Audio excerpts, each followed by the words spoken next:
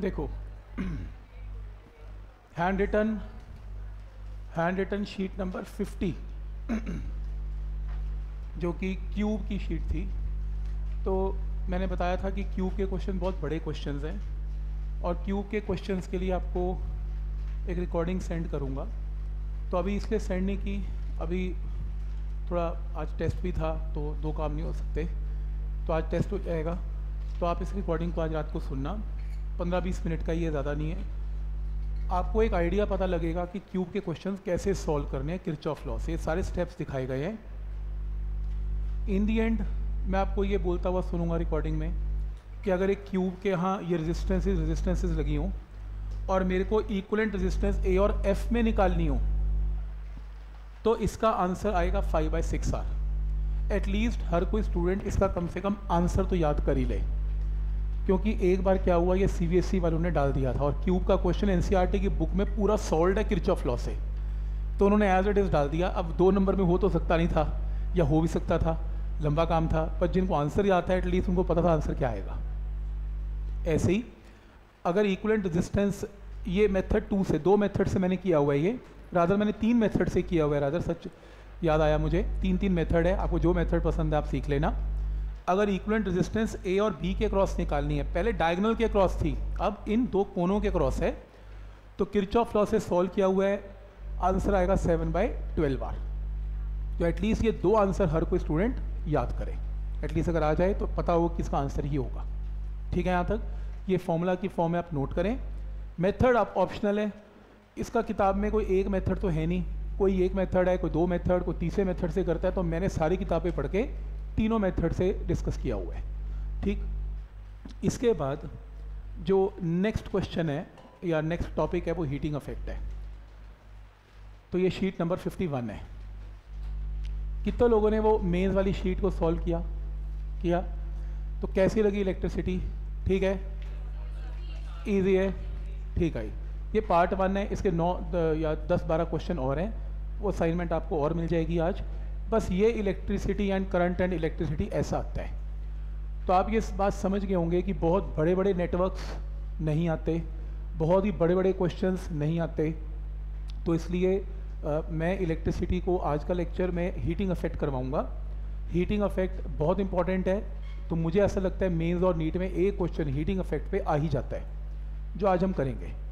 And एक question और mains में आया हुआ है। वो नीट में नहीं आता वो सिर्फ़ मेंस में आता है। जिसके अंदर आपको याद होगा, जैसे कैपेसिटर है। कैपेसिटर को चार्ज करते हैं। जब कैपेसिटर को हमने चार्ज किया था तो हमने उस चैप्टर में रेजिस्टेंस नहीं ली थी। लेकिन अगर रेजिस्टेंस हो तो कैपेसिटर इमीडिएटली चार्ज नहीं होता। और टाइम लेता है चार्जिंग में। तो कितना टाइम पे उसमें कितना चार्ज होगा? ये आरसी सर्किट बोलते हैं उसे। आपने बुक्स में देखे भी होंगे, अभी तक हम कर नहीं रहे थे, जिसमें आर और सी का कॉम्बिनेशन है। हमने अकेला सी किया, अब हमने अकेला आर किया। तो एक लेक्चर लगेगा जिसमें आर और सी दोनों कॉम्बिनेशन में चलेंगे। इसके ऊपर मेज में क्वेश्चन आया हुआ है और हर बार आता है। हर बार आ ही जाता है इस पर क्वेश्चन तो ये दो टॉपिक बड़े इंपॉर्टेंट हैं। तो ओवरऑल जो क्वेश्चन है मेंस में आना है या नीट में आना है, वो एक या दो ही आने हैं। दो से ऊपर तो वैसे नहीं आएँगे। नीट में तो एक्सपेक्ट कर सकते हो दो क्वेश्चन फोर्टी फाइव क्वेश्चन का फॉर्मेट है। मेंस में हो सकता है एक ही आए, हो सकता है दो भी आ जाए। पर एक तो पक्का ही है। राइट मैग्नेटिक अफेक्ट और मैग्नेटिज्म में दो क्वेश्चन आते हैं। तो बेटर है कि हम अपना एफर्ट इलेक्ट्रिसिटी पे ज़्यादा लगाने की बजाय मैग्नेटिक और मैग्नेटिक अफेक्ट पे ज़्यादा लगाएँ। क्योंकि हमारे जो आर्स लगे हुए हैं, हमारे जो डेज़ लगे हुए हैं, वो ज़्यादा आउटपुट उन चैप्टर्स में देंगे जिसमें दो या तीन क्वेश्चन आने की पॉसिबिलिटी ज़्यादा रहती है। तो तैयारी ऐसी होती है और कैसी होती है? जिसमें अगर मान लो बहुत बड़ा यूनिट है काइनेमेटिक्स है, एक ही क्वेश्चन आना है। और काइनेमेटिक्स करने में तो पूरे पता है सबको धुएँ निकल जाते हैं। कहने की बात है है बड़ा स्टार्टिंग का चैप्टर पर सबसे ज़्यादा टाइम कंज्यूमिंग काइनेमेटिक्स है। तो आपको पता है, बाकी फिर भी इतना एफर्ट नहीं लेते। वेव्स आसान है काइनेमेटिक्स फिर भी उसमें ज़्यादा मुश्किल है, मैं बोलता हूँ। तो वेव में फिर दो क्वेश्चन आ जाएँगे, या क्वेश्चन बहुत आसानी से बाहर आएगा। काइनेमेटिक्स में थोड़ा टाइम लगता है। तो हालाँकि मुश्किल नहीं है, मैं कहना चाहूँगा कि उसमें एफर्ट ज़्यादा लग जाता है कभी कभी तो इसी तरीके से हम अपना डिवाइड करेंगे अपने इस पूरे सिलेबस को और अपने आर्ट्स के हिसाब से।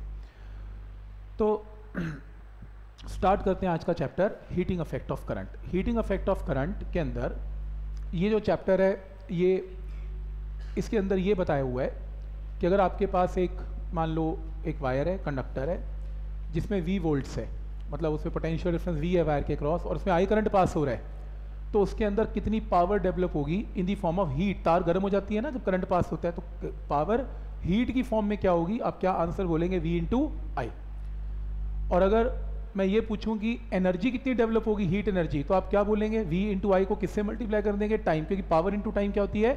एनर्जी तो या तो आप बोलेंगे वी इंटू आई या बोलेंगे V into I into T तो पावर का फॉर्मूला इलेक्ट्रिक पावर का फॉर्मूला वी इंटू आई या आप ऐसा कर सकते हैं वी को पुट कर सकते हैं आई इंटू आर तो आई इंटू आर में I into R into I क्या हो जाएगा? आई स्क्वायर आर तो पावर का फॉर्मूला क्या होगा? आई स्क्वायर आर और उसी तरीके से आप आई को पुट कर सकते हैं वी बाय आर तो v into V V square by R ये आपके पास पावर की वैल्यू आ जाएगी। क्लियर है यहाँ तक? तो आप अपने न्यूमेरिकल्स में पावर का फॉर्मूला या तो यूज़ करेंगे v इंटू आई या फिर यूज़ करेंगे आई स्क्वायर आर या फिर यूज़ करेंगे वी स्क्वायर बाय आर तो क्लियर है यहाँ तक? तो ये आपके पास पावर की वैल्यू आ जाएगी। और अगर आप पावर की फॉर्म में हीट एनर्जी की बात करें तो एनर्जी जो डेवलप होगी वो कितनी होगी? V into I into T I square into R into T और ऐसी V square by R into T तो हीट एनर्जी जो डेवलप होगी, वो इन तीनों फॉर्मूला से सॉल्व होगी। तो ये फॉर्मूलाज क्लियर है सबको? इसके बाद आपको कुछ ऐसा टॉपिक आएगा कि जैसे आपको एक वो बल्ब देगा। कोई भी एक बल्ब देगा, वो कहेगा, ठीक है मार्केट से बल्ब लेके आओ। जब मार्केट से बल्ब लेके आते हो ना तो उसके ऊपर ना रेटिंग लिखी होती है। क्या रेटिंग लिखी होती है? रेटिंग ऐसे लिखी होती है जैसे एक बल्ब है। आप परचेज करके लेके आना बल्ब उसके ऊपर लिखा हुआ है हंड्रेड वॉट का बल्ब है। आप वॉटेज तो बोलोगे ना, कितने वॉट की लाइट है? तो सौ वॉट की लाइट लगी हुई है। और उसके ऊपर ज़रूर कंपनी का स्टिकर लगा होगा कि ये 220 वोल्ट पे चलाओ तो ये 100 वॉट देती है। लिखा होता है रेटिंग लिखी होती है ना 220 वोल्ट पे चलोगे, चलेगी तो 220 वोल्ट पे चल के ये 100 वॉट की रेटिंग देती है। वो बिल्कुल नहीं क्लेम करती कि अगर आप इसको 100 वोल्ट पे चलाओगे, अगर आपकी वोल्टेज कम है 100 वोल्ट है तो ये 100 वॉट देगी। नहीं, ऐसा नहीं होगा। तो आपकी वी की वैल्यू अगर 220 है तो आपकी पावर की वैल्यू 100 वॉट आएगी राइट वो ये भी क्लेम नहीं करती कि अगर आपने ये बल्ब लिया 100 वॉट का, एक आपने और बल्ब ले लिया लेटर सपोज़ 60 वॉट का, और आपने इन दोनों को इकट्ठे सीरीज़ में चला दिया भाई 220 वोल्ट क्योंकि जो स्विच है वो तो एक ही रहेगा ना जहाँ प्लग करोगे। वो प्लग करने वाला पॉइंट्स तो सेम ही है, वो तो 220 दे रहा है, चाहे आप पूरी लड़ी लगा लो उसमें बल्ब की, चाहे एक बल्ब लगा लो उसमें 220 दे देना है। इस बार आपने क्या किया? सीरीज़ में लगा लिया। आपको कंपनी ने बिल्कुल नहीं बोला था बल्ब बेचते हुए कि आप पूरी लड़ी लगा लोगे तो भी 220 के 100 वॉट ही चलेगा। बिल्कुल भी नहीं। उसने कहा था, अगर 220 अकेला इसको मिलेगा तो 100 वॉट होगा। पर अगर सीरीज़ में चलेगा तो फिर ये 100 और 60 वॉट जो लिखा हुआ है, ये बिल्कुल भी इतनी पावर नहीं देगा। क्लियर तो फिर क्या देगा? ये आज हम डिस्कस करेंगे। क्या ये पॉइंट क्लियर है यहाँ तक? क्यों? क्योंकि वोल्टेज दोनों में क्या हो जाएगी? डिवाइड हो जाएगी 220 वोल्ट। हाँ अगर अकेले को 220 मिलेगा फिर इट्स ओके. फिर वोल्टेज सेम रहेगी। पर अगर वोल्टेज डिवाइड करके दोगे तो फिर वोल्टेज जो पा, जो पावर की वैल्यू है इट विल चेंज क्या ये पॉइंट क्लियर है यहाँ तक? ठीक। तो अब इसमें क्या प्रॉब्लम है? मान लो आप एक बल्ब लेके आए। एक बल्ब के ऊपर लिखा हुआ था उसकी P1 पावर है जैसे 100 वॉट का बल्ब है। और ये क्लेम करती है कंपनी इसको अगर वी वोल्ट पे प्लग करोगे वी वोल्ट पे तो उस केस में जो पावर है, वो बिल्कुल पी वन ही आएगी। पी वन की पी वन आएगी जो क्लेम की हुई है। तो पावर होती क्या है? P one is equal to V square by R one V square by R होती है पावर तो यहाँ से रेजिस्टेंस की वैल्यू कैन बी कैलकुलेटेड क्या आपको कंपनी ने कहा कि वी वोल्ट पे चलेगा तो पी वन पावर आएगी? तो ये तो बिल्कुल मैच करती है रीडिंग्स तो अगर आप power is equal to V square by R formula use करेंगे और आर की जगह V square by P use करेंगे तो यहाँ से वी की जगह वी स्क्वायर और पी की जगह पी वन तो यहाँ दोनों वैल्यूज़ पुट करके क्या आएगा? आर वन की वैल्यू कैन बी कैलकुलेटेड अब R1 एक ऐसी चीज़ है रेजिस्टेंस जो कहीं भी लगा लो, वो चेंज नहीं होती। बल्कि रेजिस्टेंस तो कांस्टेंट है, इसमें तो कहीं चेंज करोगे? तो ये रेटिंग इसलिए गिवन होती है P1 एंड V ताकि आप क्या निकाल सको? रेजिस्टेंस R1 निकाल सको।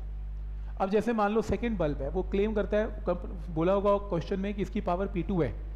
और ये वी वोल्ट पे अगर चलता है तो पावर P2 देता है। तो सबसे पहला काम आप क्या करेंगे? V स्क्वायर बाई P2 करके इसकी रेजिस्टेंस निकाल लेंगे। और ऐसी थर्ड केस में वी स्क्वायर पी थ्री करके इसकी रेजिस्टेंस निकालेंगे। पहला काम ये होता ही इसलिए है ताकि आप पावर और वी की फॉर्म में क्या निकाल सकें? रेजिस्टेंस निकाल सकें। फिर वो क्वेश्चन में ये कहेगा कि तीनों बल्ब की power P one P two P three है, जो एज पर जो उस पर लिखा हुआ है, अगर अलग अलग अलग चलाएँगे तो। लेकिन वो कहेगा कि मान लो इन तीनों बल्ब्स को आपने किसमें कनेक्ट कर दिया? अब सीरीज़ में। अब ये नहीं कंपनी कहती कि अब अगर आप इसको वी पे चलाएँगे तो अब ये power P one P two P three ही देगा। ये पावर्स अब क्या हो जाएँगी? चेंज क्योंकि वी क्या हो जाएगा? डिवाइड हो जाएगा तो पावर क्या हो जाएगी?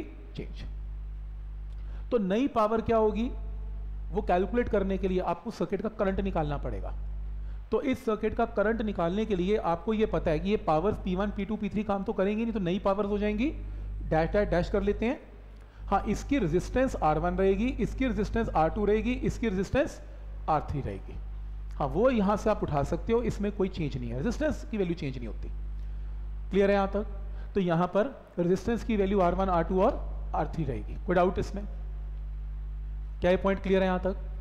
तो रेजिस्टेंस की वैल्यू R1, R2, R3 तो अगर मैं ये पूछूँ कि अब नई पावर क्या है तो आप यहाँ पे करंट निकालेंगे सबसे पहले। बोलो करंट क्या आएगा? V divided by R one plus R two plus R three और फिर नई पावर क्या आएगी? I square into R one ऐसी नई पावर क्या आएगी? I square into R two ऐसी नई पावर क्या आएगी? I square into R three ये power P one P two P three से डिफर करेंगी। तो क्या ये पॉइंट क्लियर है यहाँ तक? कि पावर चेंज क्यों हो रही है? क्योंकि करंट चेंज हो जाएगा, क्योंकि रेजिस्टेंसेस तीनों की तीनों एक वी के साथ कनेक्टेड है। क्या ये पॉइंट क्लियर है? अब क्वेश्चन ये है कि मान लो आपके पास तीन बल्ब हैं अलग अलग P1, P2, P3 पावर देते हैं। और मान लो मैंने इनको किसमें कनेक्ट कर दिया? सीरीज़ में कनेक्ट कर दिया। तो जब मैंने इनको सीरीज़ में कनेक्ट किया तो मैं P1, P2, P3 की जगह एक बल्ब लगाना चाहता हूँ जिसकी इफ़ेक्टिव पावर है P तो आपको इसकी इक्वलेंट पावर बतानी है क्या होगी जैसे आप इक्वलेंट रेजिस्टेंस निकालते हो R1, R2, R3 को R1 plus R2 plus R3 कर देते हो। ऐसी क्या निकालना है? इसमें इफ़ेक्टिव पावर निकालनी है जब तीन बल्ब किसमें कनेक्टेड है? In series P1, P2, P3 अगर सीरीज़ में तो नई पावर इफ़ेक्टिव पावर क्या आएगी? इफ़ेक्टिव पावर निकालने के लिए तीनों R1, R2, R3 किसमें कनेक्टेड है? In series P effective power है। तो सीरीज़ के अंदर टोटल रेजिस्टेंस क्या होती है? R1 plus R2 plus R3 होती है। क्या ये पॉइंट क्लियर है? तो मुझे पता है कि आर वन तो हम ऑलरेडी निकाल चुके हैं। कितनी? V square by P one R two की वैल्यू कितनी है? V square by P two R three की वैल्यू कितनी है? V square by P three तो आर वन की जगह V square by P one R two की जगह V square by P two R three की जगह V square by P three clear यहाँ तक? अब मुझे एक बात बताओ कि अगर वो तीन बल्ब की जगह, मैं एक ही बल्ब लगाता हूँ, एक ही bulb effective P connected by a same V तो इसके लिए पावर क्या होगा? इसकी अफेक्टिव रेजिस्टेंस आर है तो क्या लिखें? वी स्क्वायर बाय आर तो यहाँ से आपके पास आर की वैल्यू क्या आएगी? V square divided by P तो ऐसा कर सकते हैं R one R two R three put कर लिया P one P two P three की फॉर्म में, और अफेक्टिव रेजिस्टेंस की जगह V square divided by effective power P V V V क्या हो गया? कैंसिल तो आपके पास नेट रिज़ल्ट आ गया. One by P is one by P one one by P two one by P three का सम होगा. तो आज के बाद जब ये क्वेश्चन आएगा कि आपके पास तीन बल्ब हैं power hundred watt forty watt sixty watt तीन बल्ब को सीरीज़ में लगाया अफेक्टिव पावर क्या होगी? तो आप क्या करेंगे? One by P one by hundred one by forty one by sixty करके effective P can be calculated क्या ये पॉइंट क्लियर है यहाँ तक? कोई डाउट इसमें. तो effective P can be calculated right तो शॉर्टकट याद रहेगा, ये चैप्टर एनसीईआरटी e का पार्ट नहीं है। ये सिर्फ़ कंपटीशन में आएगा एनसीईआरटी e में नहीं आएगा। फिर भी आप सिलेबस चेक कर लेना एक बार मेरे हिसाब से तो मेरे अकॉर्डिंगली एनसीईआरटी में हीटिंग इफ़ेक्ट आता नहीं है। ठीक है? तो यहाँ तक क्लियर है। अब अगली प्रॉब्लम क्या है? अगली प्रॉब्लम है, वो कहेगा कि ठीक है, एक बल्ब 100 वॉट का है, एक 60 वॉट का है, एक 40 वॉट का है। मुझे पता है, मैंने 100 वॉट पे ज़्यादा पैसे खर्चे हैं यार। वो महँगा बल्ब है 40 वॉट वाला सस्ता बल्ब है, क्यों खर्चे? ताकि ज़्यादा रोशनी हो। तो यानी कि अफेक्टिवली जो P1 है, उसकी पावर तो ज़्यादा आएगी।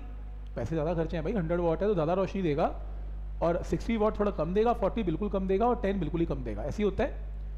और सारे बल्ब किस पे लगाए जाते हैं? वी वी वी वोल्ट पे। आप ये सारे घर के जो इक्विपमेंट्स हैं, ये ये पॉइंट्स हैं, सारे पैरल में कनेक्टेड होते हैं, सबको पता है। तो कंपनी क्लेम करती है, आप इसको वी सबको सेम दे दो 100 वॉट वाला ज़्यादा रोशनी देगा। पर ये क्लेम नहीं करती। अगर आप लड़ी लगा दोगे पूरी सीरीज़ में P1, P2, P3, 100, 60 और 40 तो 100 वाला अब ज़्यादा रोशनी देगा ये क्लेम नहीं करती वो। क्यों? क्योंकि अब आपको नई पावर्स निकालनी पड़ेंगी। और नई पावर कैसे आएगी? नई पावर आएगी फ़र्स्ट बल्ब की पावर क्या होगी? आई स्क्वायर आर वन और आई तीनों में क्या रहेगा एग्जैक्टली? सेम तो अगर आई सेम रहेगा तो I square R one I square R two I square R three कोई डाउट इसमें? तो क्या ये पॉइंट क्लियर है यहाँ तक? तो आपके पास जो पावर की वैल्यू आएगी, क्या आएगी? आई स्क्वायर आर वन नई पावर जो नई पावर आएगी I square R one I square R two I square R three को डाउट इसमें? क्या ये पॉइंट क्लियर है यहाँ तक? ठीक है? आप मुझे सिर्फ़ ये बताएँ करंट सेम है सब में? जब आप अलग अलग रेजिस्टेंसेस को निकाल रहे थे तो रेजिस्टेंस तो चेंज होने से रही, ये तो कॉन्स्टेंट ही होती है। जिस बल्ब की पावर सबसे ज़्यादा थी 100 वॉट 60 वॉट 40 वॉट तो जिसकी पावर ज़्यादा थी, उसकी रेजिस्टेंस क्या आएगी? कम आएगी। जिसकी पावर ज़्यादा होगी उसकी रेजिस्टेंस कम आएगी। अब जिसकी रेजिस्टेंस या जिसकी पावर कम होगी ओके फिर से एक बार जिसकी पावर कम होगी उसकी रेजिस्टेंस ज़्यादा आएगी। तो यानी कि अगर P1 की पावर कम है सिर्फ़ 40 वॉट है तो उसकी रेजिस्टेंस सबसे ज़्यादा आएगी। 100, 60 और 40 वॉट में से 40 वॉट सबसे कम पावर का है तो उसकी रेजिस्टेंस सबसे ज़्यादा आएगी। और सीरीज़ में जब कनेक्ट करेंगे तो उसकी रेजिस्टेंस सबसे ज़्यादा आएगी, जिसकी पावर कम थी। तो जब आप मार्केट से लेके आए तो 40 वॉट तो हल्का बल्ब था। लेकिन जब सीरीज़ में लगाया तो सीरीज़ में क्या हुआ? उसकी जो 40 वॉट है, उसकी रेजिस्टेंस सबसे ज़्यादा आ गई। तो उस केस में इसकी पावर सबसे ज़्यादा आ गई। सीरीज़ में लगने के बाद 40 वॉट की पावर सबसे ज़्यादा आ गई 100 वॉट की पावर सबसे कम आ गई। क्यों? क्योंकि जितनी बड़ी पावर थी, उतनी छोटी रेजिस्टेंस थी। और जितनी छोटी रेजिस्टेंस थी जितनी छोटी रेजिस्टेंस है, उतनी नई पावर छोटी पाई जाएगी। तो यानी कि क्या मैं ये बोल सकता हूँ कि वैसे तो मैं बल्ब को लेके आया था 100 वॉट 60 वॉट और 40 वॉट लेकिन जब मैंने इनको सीरीज़ में लगाया सीरीज़ में जो नई पावर आई, वो 40 वॉट की सबसे ज़्यादा आ गई 100 वॉट की सबसे कम आ गई। तो कौन क्वेश्चन आएगा ऑब्जेक्टिव कौन ज़्यादा ब्राइट ग्लो करेगा? सीरीज़ में लगने के बाद सीरीज़ में लगने के बाद 40 वॉट सबसे ज़्यादा ग्लो करेगा। सबसे ज़्यादा ब्राइटनेस देगा। 100 वॉट बुझा बुझा रहेगा। लेकिन अगर आप इनको अलग अलग लगाते हो अलग अलग लगाते हो तो सौ वॉट सबसे ज़्यादा ब्राइट होगा 40 वॉट सबसे कम होगा। तो एक शॉर्टकट याद हो गया। पहला शॉर्टकट अगर तीनों बल्ब किसमें कनेक्टेड है? सीरीज़ में। तो power P one P two P three है तो अफेक्टिव पावर क्या होगी? One by P is to one by P one plus one by P two plus one by P three ये point clear है? And दूसरा result, अगर वैसे जिसकी पावर सबसे बड़ी होगी सीरीज़ में लगने के बाद, उसकी पावर क्या हो जाएगी ऑटोमेटिकली छोटी हो जाएगी। और छोटी पावर वाला सीरीज़ में क्या लगेगा? बड़ा, बड़ी पावर देगा। तो ज़्यादा ग्लो करेगा। तो पहला रिज़ल्ट क्लियर है यहाँ तक। सीधा ऑब्जेक्टिव में सीधे रिज़ल्ट लगेंगे जितने भी हैं। क्लियर है यहाँ तक? कोई डाउट इसमें। अगला एक बड़ा इंपॉर्टेंट क्वेश्चन जो मेन्स और नीट में बहुत आता है। मान लो पीछे से करंट आ गया इसमें, आए। और कई बार क्या होता है? करंट ज़्यादा आ गया। अब ज़्यादा करंट से क्या होता है? I square R T I square R T I square R T heat ज़्यादा डेवलप हो जाएगी। तीनों रेजिस्टेंसेज में हीट ज़्यादा डेवलप हो जाएगी, ज़्यादा करंट आने से हीट और आपने देखा होगा बल्ब फ्यूज़ हो जाते हैं। क्यों फ्यूज़ होते हैं? क्योंकि बल्ब में फिलामेंट होता है। तो फिलामेंट क्या करता है? फिलामेंट दो उसमें वायर्स के साथ चिपका होता है ऐसा। जैसे वो गर्म होता है, और ज़्यादा गर्म होता है तो हीटिंग इफ़ेक्ट से उसका कनेक्शन टूट जाता है और बल्ब फ्यूज़ हो जाता है। यही रीज़न होता है बल्ब फ्यूज़ होने का। या हीटिंग इफ़ेक्ट से सड़ सकती है वायर अंदर, क्योंकि वायर बहुत गर्म हो जाती है, लाल हो जाती है एकदम वायर तो ज़्यादा करंट डेंजरस है। तो क्वेश्चन आएगा आपको ऑब्जेक्टिव कि अगर मान लो एक 100 वॉट का बल्ब है 60 वॉट का बल्ब है 40 वॉट का बल्ब है सीरीज़ में कनेक्शन है। तो अगर पीछे से करंट ज़्यादा आ गया, सबसे पहले कौन सा बल्ब फ्यूज़ होगा? 40 वॉट का फ्यूज़ होगा कि 100 वॉट का फ्यूज़ होगा? बोलो। 40 वॉट का क्यों? क्योंकि सीरीज़ में लगने के बाद 40 वॉट की पावर सबसे ज़्यादा थी, सबसे ज़्यादा वही चमक रहा था। हीट उसमें ज़्यादा थी और कुछ ज़्यादा करंट आ गया तो एकदम ब्लास्ट हो जाएगा। क्या ये पॉइंट क्लियर है? फ्यूज़ हो जाएगा। पावर जिसकी कम है सीरीज़ में उल्टा हो जाता है पावर ज़्यादा हो जाती है। तो हीट भी ज़्यादा प्रोड्यूस करेगा तो वही तो उड़ेगा जो हीट ज़्यादा प्रोड्यूस करेगा। तो यानी कि अगर 100 वॉट का बल्ब है 60 और 40 वॉट के बल्ब हैं, अगर सीरीज़ में लगा दें तो सीरीज़ में लगाने के बाद सबसे ज़्यादा ग्लो कौन करेगा? 40 वॉट सबसे पहले उड़ेगा कौन? फ्यूज होता है तो 40 वॉट। क्या ये पॉइंट क्लियर है यहाँ तक? ठीक? ऑनलाइन क्लियर है? Yes, ठीक? तो ये सीधा ऑब्जेक्टिव में अप्लाई करेंगे हम। तो ये मैंने सारा लिख दिया हुआ है इसमें। करंट सीरीज़ में सेम रहता है। तो पावर्स की वैल्यू मैंने बता दी। जिसकी पावर कम है उसकी रेजिस्ट जिसकी पावर कम है उसकी रेजिस्टेंस ज़्यादा है उसकी पावर नई पावर ज़्यादा हो जाएगी। तो ये भी लिख दिया। Bulb with less power has high resistance and when connected in series will glow more तो छोटी पावर ज़्यादा ग्लो करेगी। ये भी लिख दिया, when current in circuit exceeds the safety limit safety limit का मतलब बल्ब नहीं उड़ेंगे फ्यूज नहीं होंगे, लेकिन अगर आपका करंट पीछे से बढ़ गया तो bulb of lower voltage will be fuse wattage लिखना चाह wattage wattage will be fuse first सबसे छोटा बल्ब पहले उड़ जाएगा सीरीज़ में। क्लियर है यहाँ तक? और पैरल में कौन उड़ेगा पहले? पैरेलल में, पैर पैरल छोड़ो, अगर अलग अलग लगाता हूँ पैरेलल अगर अलग अलग लगाता हूँ तो कौन उड़ेगा? सबसे ज़्यादा, क्योंकि उसकी पावर 100 वॉट सबसे ज़्यादा होगी। तो सीरीज़ में लगने के बाद पावर चेंज होती है अदरवाइज़ तो पावर 100 वॉट की ज़्यादा है, सबसे पहले 100 वॉट का बल्ब उड़ने वाला है। तभी ज़ीरो जो 10 दस वॉट के पाँच पाँच वोटेज के बल्ब छोटे छोटे लगे होते हैं, वो फ्यूज़ नहीं होते जल्दी जल्दी इतना मर्ज़ी उसका फ्लक्चुएशन हो जाए। उड़ना ही नहीं उन्होंने, लेकिन बड़े बड़े बल्ब होते हैं सबसे पहले, वही फ्यूज़ होंगे, क्योंकि वी सबका सेम होता है बल्ब का करंट आने से बड़ा बल्ब सबसे पहले उड़ जाएगा। क्लियर है यहाँ तक? नेक्स्ट है power consume by parallel combination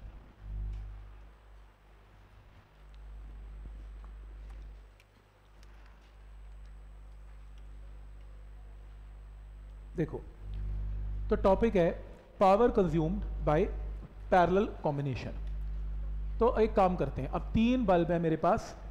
जब मैं तीन बल्ब में से एक बल्ब है, उसकी पावर P1 है, उसको V वोल्ट पे लगाता हूँ तो उसकी रेजिस्टेंस R1 है। तो इसकी एक्चुअल पावर P1 है और एक्चुअल कितने वोल्ट पे लगा हुआ है? V वोल्ट पे लगा हुआ है तो यहाँ से R1 की वैल्यू क्या आएगी? V square by P one ये जो रेटिंग गिवन होती है तो रेजिस्टेंस निकालने के काम आती है। उसी तरीके से यहाँ पर R2 क्या होगा? V square divided by P two और R3 क्या होगा? V square divided by P three क्या ये पॉइंट क्लियर है यहाँ तक? राइट तो तीन रेजिस्टेंसेज आ गई हमारे पास। अब तीनों के तीनों को किसमें कनेक्ट कर दिया? पैरेलल में। अब पैरेलल में वो पूछ रहा है कि अफेक्टिव पावर क्या होगी?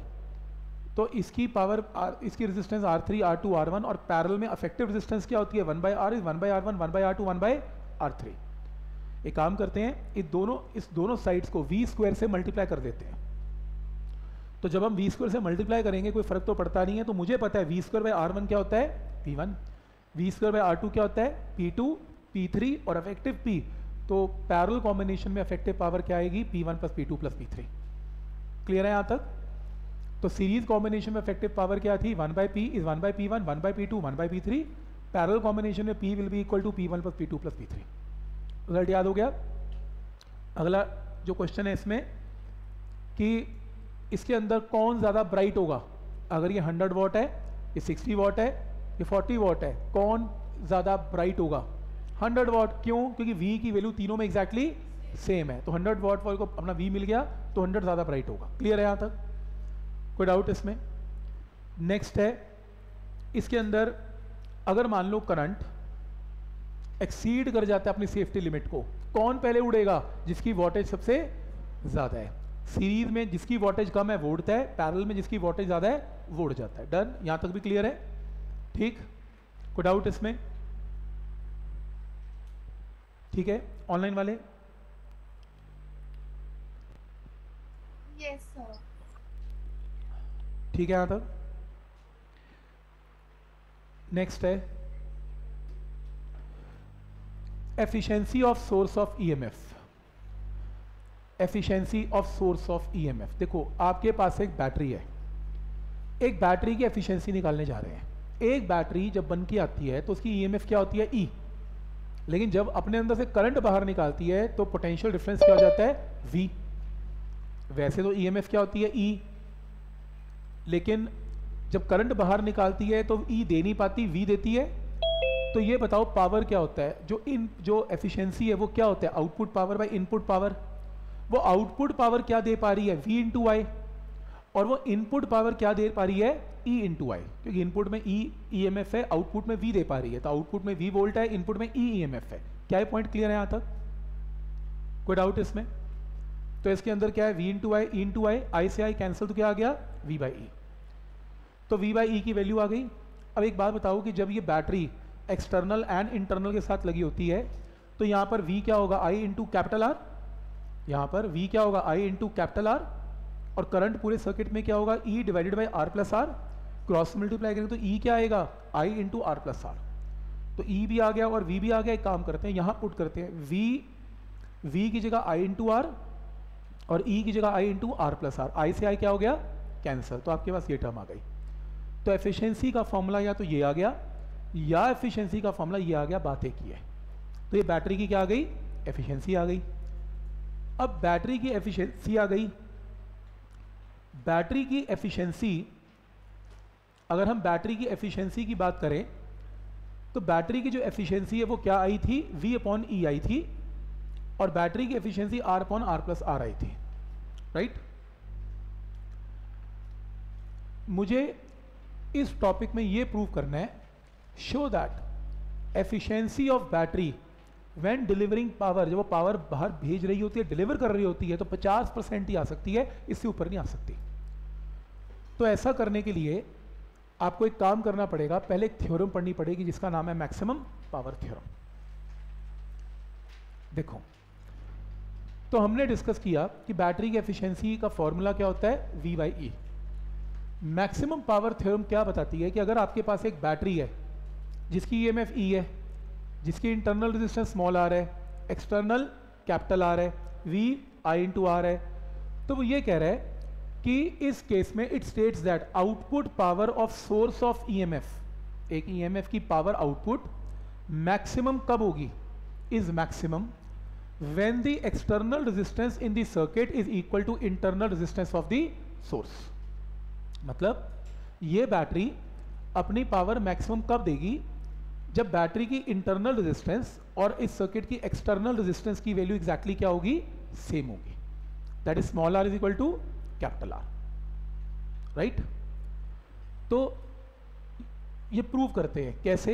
इस सर्किट में करंट क्या होगा? करंट होगा E divided by R plus R तो करंट की वैल्यू क्या होगी? E divided by R plus R अब मुझे पता है कि आउटपुट पावर आउटपुट पावर किसको मिल रही है? इसको मिल रही है। तो आउटपुट पावर कैपिटल आर को कितनी मिल रही है? I square into capital R तो आई की वैल्यू कितनी है? E divided by R plus R तो ये मेरे पास क्या आ गई? पावर की वैल्यू आ गई। तो पावर निकाल ली हमने आई स्क्वायर आर से और आई हमने निकाल लिया, ये आई की वैल्यू को पुट किया। ये पावर आ गई, पर ये पावर मैक्सिमम नहीं है।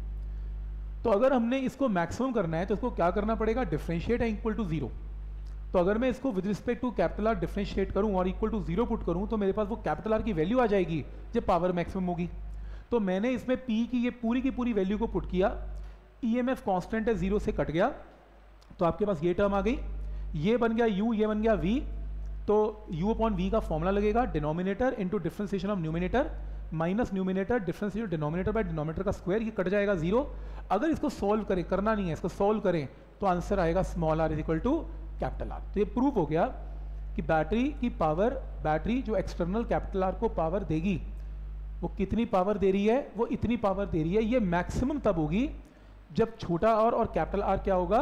सेम होगा। That is small R is equal to capital R क्या पॉइंट क्लियर है यहाँ तक? राइट? तो आपको क्वेश्चन ऑब्जेक्टिव आएगा। सब्जेक्टिव तो आता नहीं है इसमें। एनसीईआरटी में तो है नहीं। ऑब्जेक्टिव क्वेश्चन सीधा आता है। क्या? कि आपको जैसे कोई वैल्यूज़ दे देगा वो।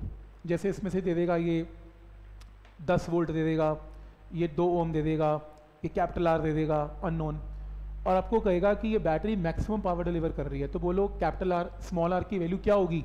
तो जो कैपिटल आर की वैल्यू होगी वही स्मॉल आर की वैल्यू होगी तो पावर मैक्सिमम होगी। ये रिज़ल्ट आपने याद रखना है। ये प्रूव तो कौन ही करेगा वहाँ पर? तो सीधा रिज़ल्ट अप्लाई करेंगे ऑब्जेक्टिव में। क्लियर है यहाँ तक? ठीक? तो मैक्सिमम पावर थ्योरम क्या कहती है समझा? और सेकेंड ऑब्जेक्टिव आएगा, क्या कि पावर की वैल्यू तो आप निकाल चुके हो? ये पावर मैक्सिमम कब होगी? जब स्मॉल आर की वैल्यू क्या होगी? कैपिटल आर या कैपिटल आर की वैल्यू क्या होगी? स्मॉल आर तो एक काम करते हैं, यहाँ पावर में स्मॉल आर की जगह कैपिटल आर पुट कर देते हैं तो सॉल्व करके क्या आएगी? मैक्सिमम पावर या उल्टा कर लेते हैं कैपिटल आर की जगह स्मॉल आर पुट कर लेते हैं तो मैक्सिमम पावर तो आपको कभी कभी मैक्सिमम पावर का ये डायरेक्ट ऑब्जेक्टिव आ जाता है कभी कभी वैल्यूज़ के साथ आता है तो फॉर्मूला याद होना चाहिए मैक्सिमम पावर का. लेकिन मैंने ये फॉर्मूला याद करने की बजाय मैंने ऐसे याद किया हुआ है कि ऐसे केस में आई स्क्वायर आर होती है पावर आई हमें पता है क्या होता है E upon R plus R तो ये पावर याद कर ली मैंने. याद भी क्या कर ली? निकाल ही लूँगा. पावर निकाल ली मुझे पता है ये पावर मैक्सिमम को होती है जब small R equal to capital R जब क्वेश्चन आएगा तो छोटे आर को बड़ा आर या बड़े आर को छोटा आर पुट करके मैं दो फॉर्मूला अपने आप निकाल लूँगा। तो मुझे दो फॉर्मूला याद नहीं करने पड़ेंगे। क्लियर है यहाँ तक? ऑनलाइन वालों क्लियर है? यस ठीक। नेक्स्ट है कि show that efficiency of the battery when delivering power is 50 percent तो एक बात बताओ कि जो पावर एफिशिएंसी का फॉर्मूला हमने निकाला था वो क्या था? वी बाई ई या क्या था? R upon R plus R ये ऊपर से हमने निकाल रखा है अगर आप चेक करो। ये देखो वी बाई या R upon R plus R ये रहा। तो ये आपके पास क्या आ गया? आ, ये आपके पास पावर की क्या आ गई? वैल्यू आ गई राइट एफिशिएंसी की वैल्यू आ गई। अब आप क्या चाहते हो? एफिशिएंसी की वैल्यू क्या हो? पावर क्या हो मैक्सिमम पावर मैक्सिमम कब होती है? जब स्मॉल आर किसके इक्वल होता है? कैपिटल आर ठीक? तो एक काम करते हैं। एफिशिएंसी में स्मॉल आर को कैपिटल आर जब पुट करेंगे 100 से मल्टीप्लाई करेंगे तो आंसर क्या आएगा? 50 परसेंट तो यानी कि जब पावर मैक्सिमम होगी तो एफिशिएंसी मैक्सिमम कितनी हो सकेगी? 50 परसेंट तो इसका प्रूफ है। क्लियर है यहाँ तक? ठीक? तो ये इसमें थ्योरी इन्वॉल्व थी। अब न्यूमेरिकल प्रैक्टिस करते हैं कि इसके न्यूमेरिकल्स कैसे आएँगे इंपॉर्टेंट है, जो हम काम करेंगे, इसके ऊपर कोई ना कोई न्यूमेरिकल आप ऑब्जेक्टिव भी करते होंगे, अभी आप सोल्व नहीं कर पा रहे होंगे, आप सोल्व कर पाएँगे।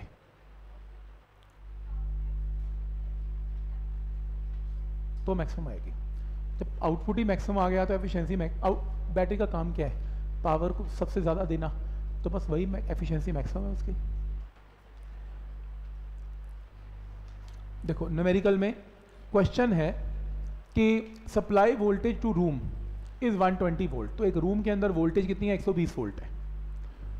The resistance of lead wire is 6 ohm तो उस जो सप्लाई वोल्टेज बैटरी 120 वोल्ट की, उसके साथ जो तारें लगी हुई हैं वायर्स लगी हुई है, वो 6 ओम की वायर है।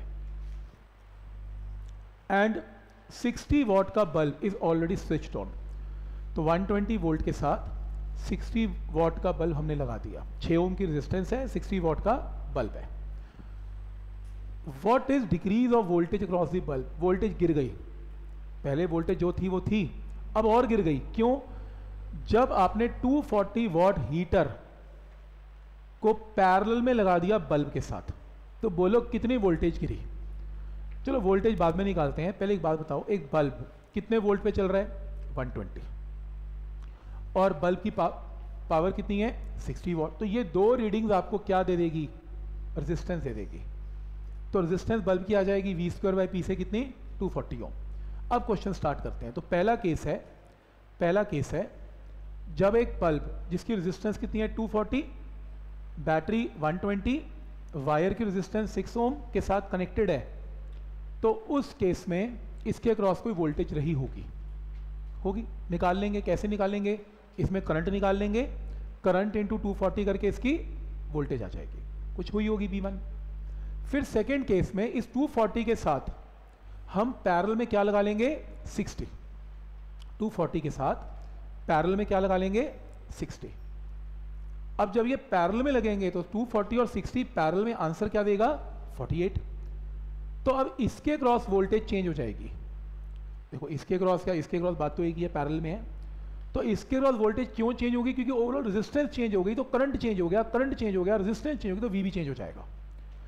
कैसे आएगा वी इसका इसका करंट निकाल के करंट क्या होगा? 120 डिवाइडेड बाई 48 प्लस सिक्स और जो भी करंट आएगा, उसको 48 से मल्टीप्लाई करेंगे तो V2 आ जाएगा। आपको बताना है कि दोनों V में क्या चेंज आएगा। तो पहला केस सिंपल केस है। इसमें क्या होगी? इसमें वोल्टेज की वैल्यू इसका करंट इंटू टू और इसमें करंट क्या होगा? 120 डिवाइडेड बाई 240 प्लस सिक्स तो ये आपके पास क्या आ जाएगी? वोल्टेज आ जाएगी। कोई डाउट इसमें? क्या ये पॉइंट क्लियर है यहाँ तक? और उसी तरीके से जब ये दोनों किसमें कनेक्टेड है? पैरल में। और पैरल में तो ये वैल्यू आएगी तो इसमें वोल्टेज क्या आएगी? आई इंटू फोर्टी एट तो आई की वैल्यू क्या होगी इसमें? 120 डिवाइडेड बाई 48 प्लस सिक्स तो ये वोल्टेज आ गई। आपको क्या निकालना है? वॉट इज़ डिक्रीज ऑफ़ दोनों वोल्टेज को क्या कर देना है? माइनस आपके पास आंसर आएगा। क्या ये पॉइंट क्लियर है? तो कैसे वोल्टेज कैसे चेंज हो रही है रेजिस्टेंस और करंट से समझ में आ रहा है यहाँ तक? ऑनलाइन वालों को क्लियर है? यस ठीक।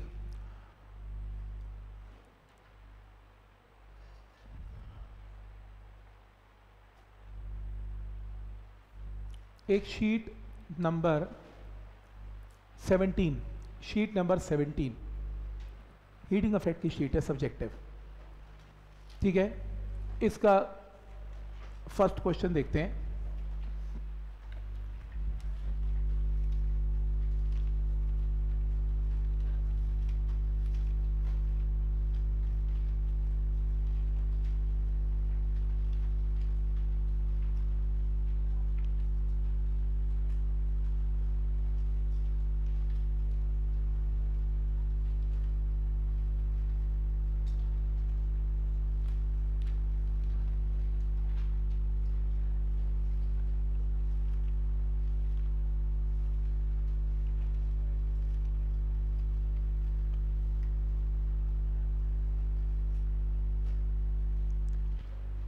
क्या क्वेश्चन है देखो?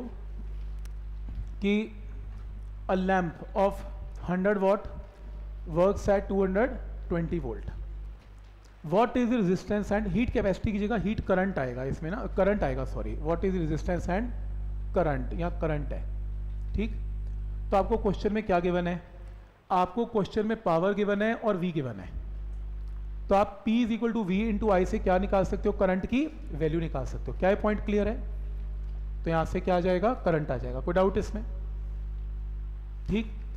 और आपको रेजिस्टेंस निकालनी है तो आसान क्वेश्चन है। आपको V पता है, P पता है, यहाँ से रेजिस्टेंस कैन बी कैलकुलेटेड कोई डाउट इसमें? नेक्स्ट जो क्वेश्चन है, आपको क्वेश्चन ऐसे गिवन होंगे जैसे ये गिवन है। ये एक बल्ब है, जिसकी रेटिंग है 60 वॉट एंड 220 वोल्ट तो बल्ब जब बन के आया तो उसको लिखा हुआ था कि 60 वॉट देगा, जब 220 के साथ इसको कनेक्ट किया जाएगा। तो 60 वॉट एंड 220 वोल्ट। तो ये इसलिए गिवन होता है ताकि आप क्या निकाल सकें वी स्क्वायर बाई पी से रेजिस्टेंस तो रेजिस्टेंस आ गई। और दू, दूसरा बल्ब है दूसरा बल्ब है उसके ऊपर रेटिंग क्या गिवन है? 100 वॉट और 220 वोल्ट। तो यहाँ से रेजिस्टेंस क्या आएगी? वी स्क्वायर बाई आर तो रेजिस्टेंस आर वन आ गई रेजिस्टेंस आर टू आ गई। कोई डाउट इसमें? तो क्या ये पॉइंट क्लियर है यहाँ तक? Resistance R one R two clear है? आगे। अब वो कह रहे हैं कि ये दोनों को सीरीज़ में लगा दिया हमने। तो बोलो, कौन ज़्यादा ब्राइट ब्राइटनेस शो करेगा? मेरे को लगता है मेरे को सॉल्व करने की ज़रूरत ही नहीं है।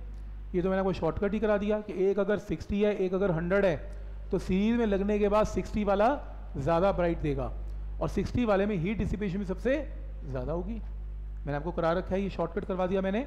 वहाँ अगर वैसे करना हो आर वन आर टू आ गया तो इसकी नई पावर क्या आएगी? I square into R one और इसकी नई पावर क्या आएगी? I square into R two I और I cancel R one R two आपने वहाँ से यहाँ पुट करके रेशियो आ गई फाइव बाई थ्री तो नई power P one and P two P one and P two की ratio five is to three which is greater than one तो यानी कि P one greater than P two वैसे आपको करने की ज़रूरत ही नहीं है। मैंने आपको बता ही दिया एक शॉर्टकट तो आपको सीधा लिखना है इसमें, क्योंकि ये सब्जेक्टिव तो आएगा नहीं।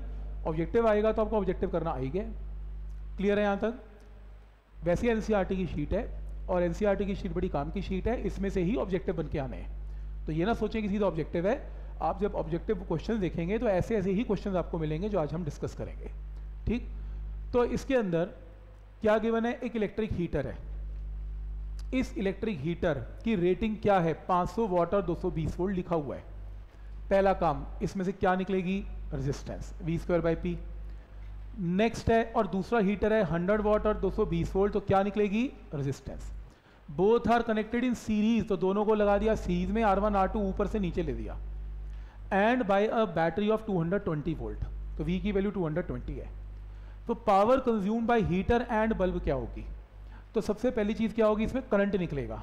नया करंट क्या होगा बोलो? 220 divided by R one plus R two तो सॉल्व करके करंट आएगा। फिर क्या करेंगे? नई पावर क्या आएगी? I square into R one और नई पावर क्या आएगी? I square into R two तो आंसर आएगा। तो क्लियर है यहाँ तक? कोई डाउट इसमें? इस क्वेश्चन को देखें प्लीज़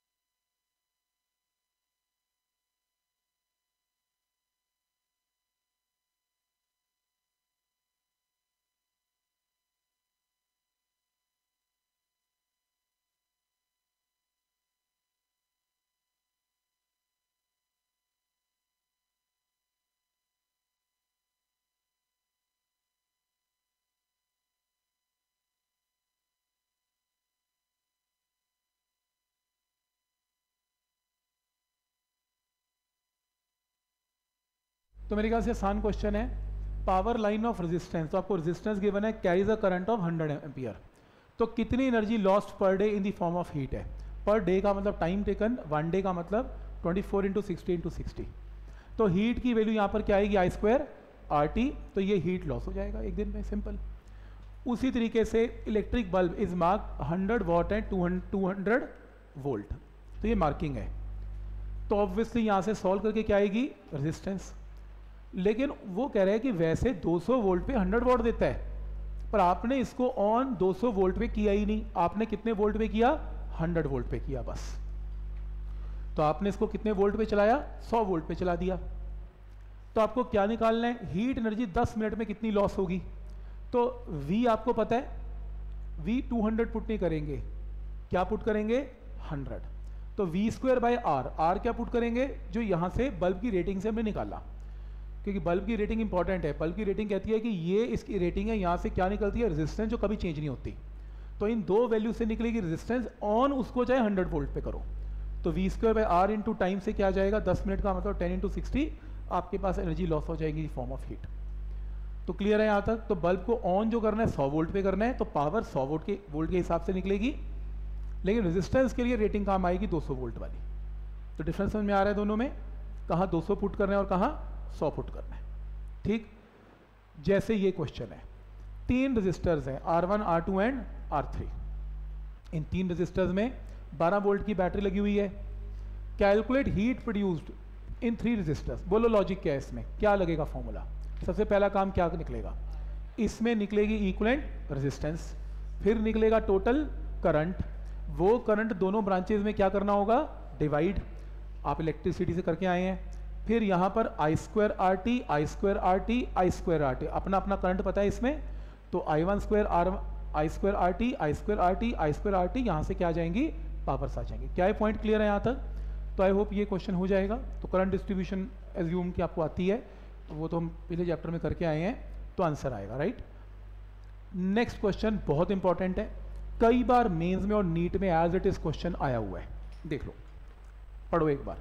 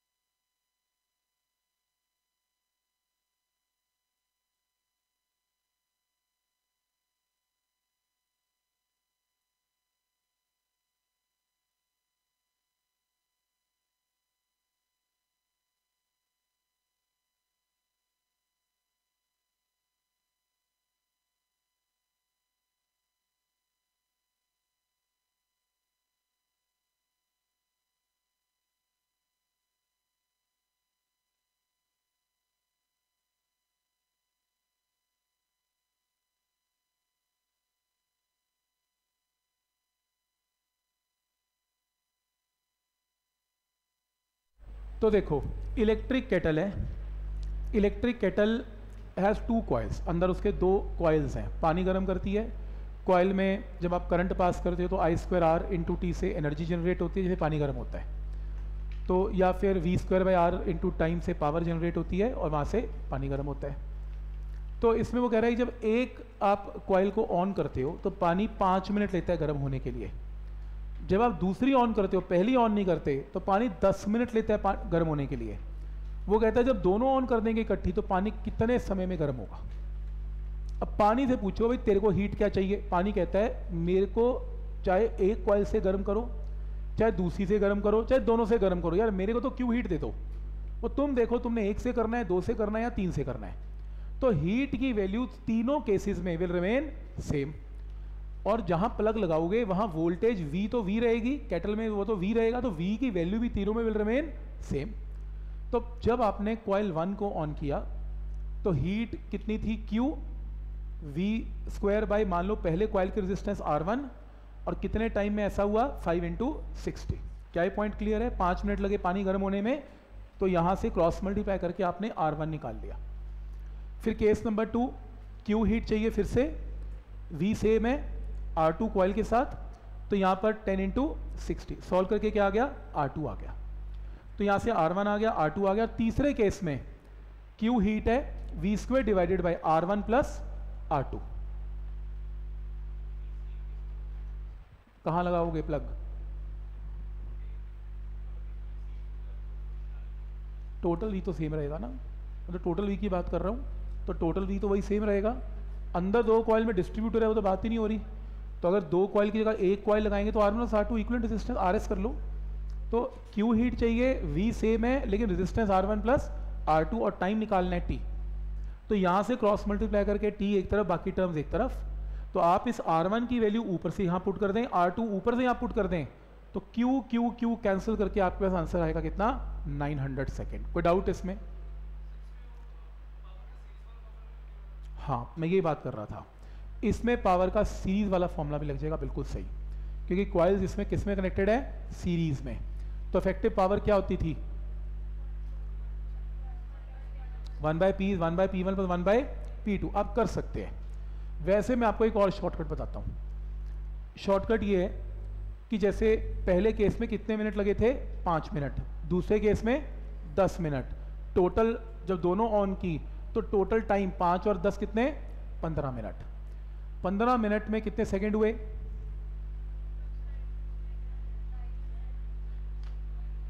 Nine hundred second. तो आप एक शॉर्टकट याद कर सकते हो कि अगर सीरीज़ में कैटल है ना, सीरीज़ में क्वाइल्स हैं तो सीधा answer T one plus T two done कौन करेगा ये ऑब्जेक्टिव में? सीधा शॉर्टकट है। और अगर पैरेलल में है, मेरे को उम्मीद है, मैं कह नहीं सकता। One by T is equal to one by T one plus one by T two करके देख लो लो पैरल कॉम्बिनेशन कर लो, चलो। मान लो ये पैरल में है। लगाओ आंसर क्या होगा? सेम क्वेश्चन है। बस यहाँ चेंज होगा। यहाँ क्या होगा? R one R two by R one plus R two अब सॉल्व करके यहाँ से टाइम निकालना, फिर से जरा प्लीज़ ट्राई करो। टाइम बोलो कितना आ रहा है पैरल में? टाइम देखो कितना आ रहा है।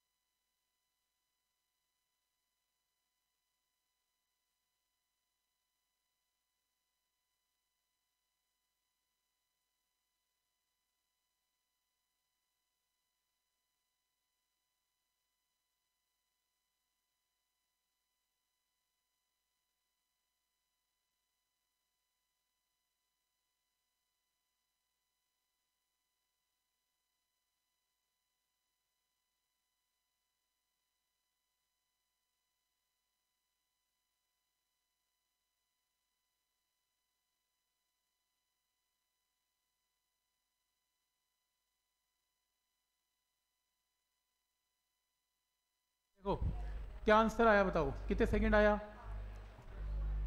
पैरल में कितना सेकंड आया? 200 सेकंड आया? ऑनलाइन वाले को 200 सेकंड आया? यस yes, सर तो यहाँ पर R one R two by R one plus R two करके जो टाइम आया 200 सेकंड आया? आया। अच्छा अब एक काम करो जरा ये वाला फॉर्मूला लगाना। पैरल में t is equal to T one T two T one plus T two तो यहाँ पर फाइव और टेन मिनट चेक करो कितने मिनट सारे आंसर 200 सेकंड आ रहा है इससे भी चलो डन फिर आगे से क्वेश्चन करेंगे ही नहीं शॉर्टकट लगाएँगे. अगर कॉइल्स पैरेलल में है तो ये फॉर्मूला सीरीज़ में T one T two formula लो खत्म हो गया काम. क्लियर है तो यहाँ तक? दो कॉइल्स के लिए होगा ना?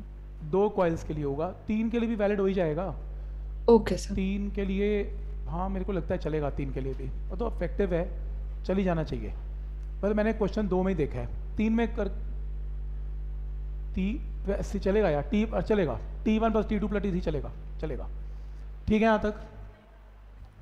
सो नेक्स्ट क्वेश्चन है कि electric heater consist of 10 metre long 10 metre long nichrome wire of this cross section area wattage निकालनी है पोटेंशियल डिफरेंस गिवन है और रेजिस्टिविटी गिवन है। साफ़ पता लग रहा है कि रेजिस्टिविटी गिवन है तो रेजिस्टेंस रोएल बाई ए से आएगा। रेजिस्टेंस पता है वोल्टेज पता है तो यहाँ से पावर आ जाएगी आंसर आ गया। तो आसान क्वेश्चन है। पहले आप रेजिस्टेंस निकाल लोगे रोएल बाई ए से, क्योंकि रो गिवन है रो गिवन है रेजिस्टिविटी तो बिल्कुल क्लियर इंडिकेशन है कि आपको क्या निकालना पड़ेगी रेजिस्टेंस रेजिस्टेंस पता है वी पता है, वहाँ से आप पावर निकाल ही लोगे, बात खत्म। ठीक? जैसे ये क्वेश्चन है। क्या क्वेश्चन है? चेक करो।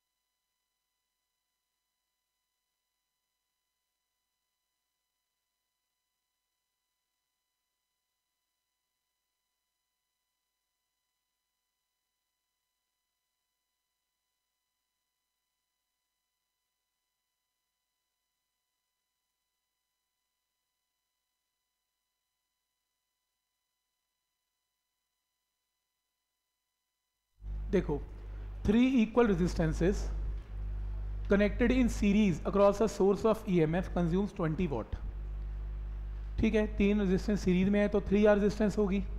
20 वॉट पावर है 20 is equal to V square by three R कह रहे अगर पैरल में लगाएँ तो पावर कंजम्पशन क्या होगी? तो पैरल में क्या फ़र्क होगा? आर थ्री आर की जगह आर बाई थ्री थ्री ऊपर चला गया तो वी स्क्वायर बाई आर हमने यहाँ से निकाल लिया। इसको यहाँ पुट करके वन एटी आंसर ठीक है यहाँ तक? तो ये सारे क्वेश्चन आपको ऑब्जेक्टिव्स की फॉर्म में मिलेंगे। पर आपको एक आइडिया समझ में आ रहा है कि आपने कैसे इस केस में कई बार वो दो की जगह तीन तीन बल्ब लगा देता है। कई बार वो ऐसा भी कर सकता है, जैसे मैंने देखी है ऑब्जेक्टिव क्वेश्चंस कि, जैसे ये एक बल्ब है, ये दूसरा बल्ब है, ये तीसरा बल्ब है, और ये बैटरी है, ऐसे। कहेगा जब हमने बैटरी को ऑन किया, इसकी resistance R one R two R three सब रीडिंग्स गिवन होंगी। कौन सा बल्ब ज़्यादा ग्लो करेगा? अब आइडिया क्या है ग्लो करने का? ना, आप ऐसे, आपको क्या पता वैल्यू क्या है? तो आप क्या करोगे इसमें? आप इसमें लॉजिक लगाओगे पावर का। जिसकी पावर सबसे ज़्यादा होगी, वो सबसे ज़्यादा ग्लो करेगा। अब V की वैल्यू, इसको तो पूरी मिल गई। यहाँ V डिवाइड हो गया। अब इन में से जो कंपटीशन होगा, जो सबसे कम पावर का होगा, वो इन दोनों में से आंसर दे सकता हूँ, वो ज़्यादा ग्लो करेगा। पर इसका और इसका करने के लिए आपको इसकी वैल्यूज़ को यूज़ करके कहीं ना कहीं पावर्स को एस्टिमेट करना पड़ेगा, तभी निकाल पाओगे। ऐसे देख के बल्ब की शक्ल देख के कैसे बताओगे कौन ज़्यादा चमकेगा।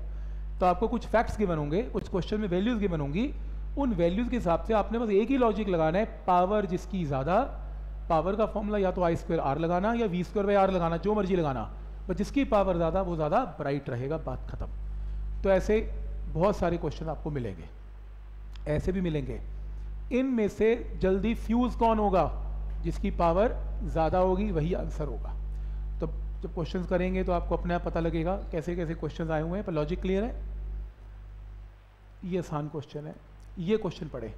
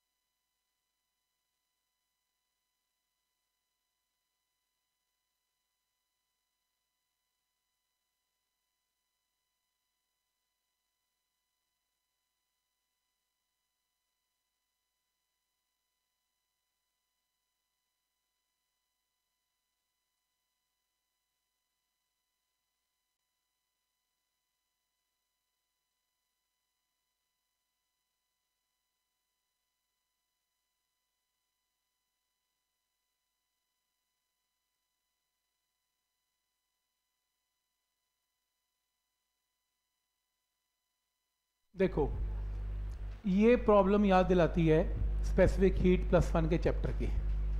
तो इस क्वेश्चन की प्रॉब्लम करंट इलेक्ट्रिसिटी है ही नहीं, इस क्वेश्चन की प्रॉब्लम स्पेसिफिक हीट और कैलोरीमेट्री है।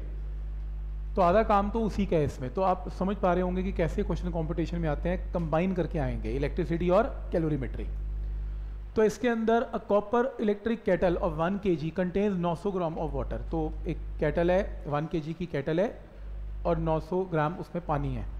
और दोनों का टेम्परेचर कितना है? 20 ऑब्वियसली जो कैटल का टेम्परेचर है, वही पानी का टेम्परेचर है 20 12 मिनट लगेंगे to raise the temperature to 100 20 से टेम्परेचर कितना लेके जाना है? 100 किसका? वाटर का। वाटर के साथ साथ कैटल भी सेम हीट कंज्यूम मतलब हीट कंज्यूम करेगी और उसका टेम्परेचर भी 20 से 100 हो जाएगा। अब वो क्या कह रहे हैं? कि हम गर्म कैसे करेंगे? बिजली से गर्म करेंगे। तो वोल्टेज कितनी है? 210 वोल्ट है। स्ट्रेंथ ऑफ़ इलेक्ट्रिक बोलो, कितना करंट पास हो, ताकि पानी 20 डिग्री से 100 डिग्री पे हो जाए। आप बिजली, और इसमें यह भी गिवन है कि 10 परसेंट ऑफ़ एनर्जी इसमें क्या हो जाती है? वेस्ट आप बिजली बाद में लगाना, आप पहले पानी और कॉपर से पूछ लो, तेरे को कितनी हीट चाहिए? क्या कि तेरा टेम्परेचर बीस से सौ हो जाए, वो मेरी हेड है कि मैं कहाँ से लाऊँगा बिजली? तो सबसे पहले हीट रिक्वायरमेंट क्या होगी? कॉपर की, क्योंकि जो कंटेनर है, वो कॉपर का बना होता है। तो M C delta theta for copper plus M C delta theta for water तो स्पेसिफिक हीट किसकी? वाटर की। स्पेसिफिक हीट किसकी? कॉपर की। तो याद है फॉर्मूला अगर टेम्परेचर 20 से 100 करना है तो हमने फॉर्मूला किया था हीट का M C delta T M C delta T right तो एक बार किसके लगा दिया? कॉपर का, और एक बार किसके लगा दिया? वाटर का। वाटर की स्पेसिफिक हीट होती है वन मेरे ख्याल से वन जो होती है, वो कैलोरीज में होती है तो ये कैलोरीज में गिवन होगा। मैंने यूनिट इसमें नहीं दिए पॉइंट वन नहीं, इसमें देने चाहिए थे यूनिट्स कुछ करेक्शन है इसमें। इसको यूनिट्स देने चाहिए थे पॉइंट वन के यूनिट्स के हैं? अगर पॉइंट वन के यूनिट्स जो है, वो कैलरीज में चल रहे हैं तो फिर पानी भी कैलरी में चलेगा, जो कि वन होता है। तो वैसे कैलरी में चल रहे होंगे कैलरी पर ग्राम में चल रहे होंगे तो इसलिए वन यूज़ किया इसने। तो यहाँ से सॉल्व करके क्या आ गई? हीट आ गई। देखो ये देखो हीट कैलरी में आ रही है। इसका मतलब स्पेसिफिक हीट भी कैलोरी में है। इसको जूल में कन्वर्ट करना पड़ेगा इनटू 4.2 इतनी हीट रिक्वायर्ड है ही है, देनी ही है। कैसे देनी है? बिजली की फॉर्म में। बिजली की फॉर्म में हीट क्या होती है? V into I into T voltage आपको पता है करंट निकालना है और टाइम 12 मिनट गिवन है। तो ये आपको हीट सप्लाइड है। इसमें से 10 परसेंट क्या हो गई? वेस्ट तो कितनी भी बची? 90 परसेंट। तो इसका 90 परसेंट जो भी होगा, वो इसको इसको देना पड़ेगा। तो इसको और इसको क्या करें? इक्वेट करके करंट कैन बी कैलकुलेट क्या ये पॉइंट क्लियर है यहाँ तक? कोई डाउट इसमें? पॉइंट समझ में आ रहे हैं यहाँ तक? ठीक. Next question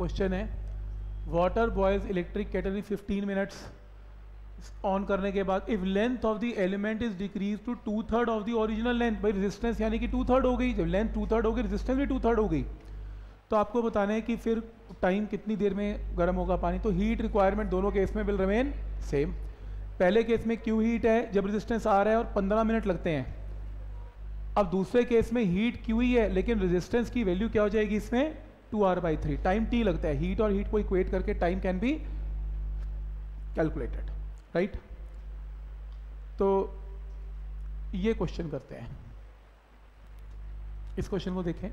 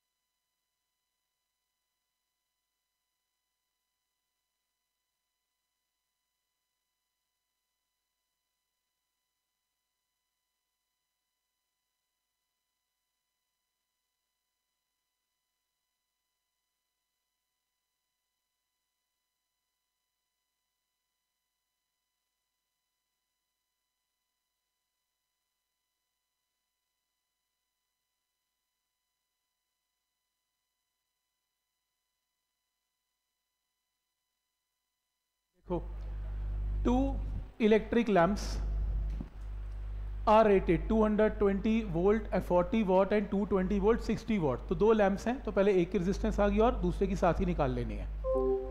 Find heat generated in each lamp एक लैंप में per second when they are connected in series across 220 volt तो सबसे पहली चीज़ ये, कि सीरीज़ के अंदर हीट निकालनी है तो सीरीज़ की पावर निकाल लेते हैं की बात है।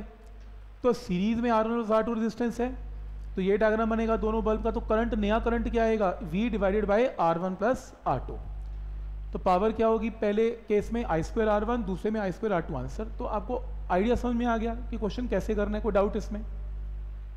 कुछ नहीं करना सीरीज़ में लगाने के बाद करंट निकाल लेना I square R one I square R two से आंसर आ जाएगा. कोई डाउट इसमें? क्लियर है यहाँ तक? ठीक? नेक्स्ट क्वेश्चन आपका होमवर्क था नेक्स्ट टाइम डिस्कस करूँगा। ट्राई करके आना अच्छा क्वेश्चन है। आपको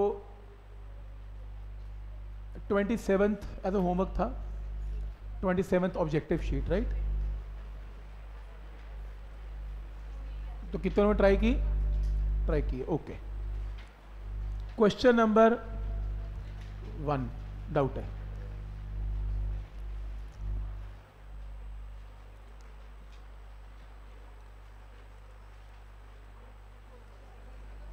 देखो क्वेश्चन नंबर वन में क्वेश्चन नंबर वन में, ये अगर आपके पास बैटरी और ये आपके पास रेजिस्टेंस है तो वो कह रहा है कि two ends of the uniform conductor are joined to a cell of E M F E and some internal resistances तो ये ई e है और ये इंटरनल रेजिस्टेंस स्मॉल आ रहा है और एक्सटर्नल रेजिस्टेंस इसमें कैपिटल आर है। और चलो, वो कैपिटल आर बाद में गिवन है। पहले सिर्फ़ बैटरी की बात कर रहा है कि मान लो एक कंडक्टर है कंडक्टर का मतलब एक वायर है, ये वायर है। ये वायर कंडक्टर है।